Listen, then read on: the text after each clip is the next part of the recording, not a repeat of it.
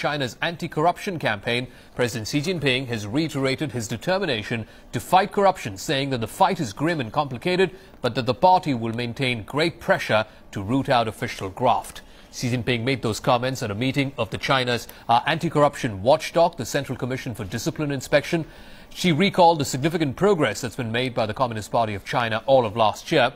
He says the party must continue to beat the tigers and the flies together. That's a famous phrase uh, that's in fact been made more famous by him and the anti-corruption campaign of last year. Uh, it means that both high-level officials and lower-ranking officials have to be tackled to take on corruption. Xi Jinping urged a deepening of reform and improving channels for people to report on corruption and strengthening supervision and transparency. He also vowed that no exceptions should be made in the drive against corruption and no leniency granted.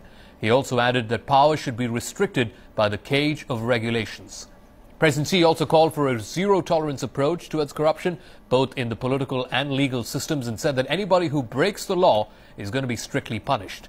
President Xi Jinping also warned all officials not to take any chances. The Communist Party of China has stepped up and hastened the fight against corruption since the new leadership was unveiled. This was back in November of 2012.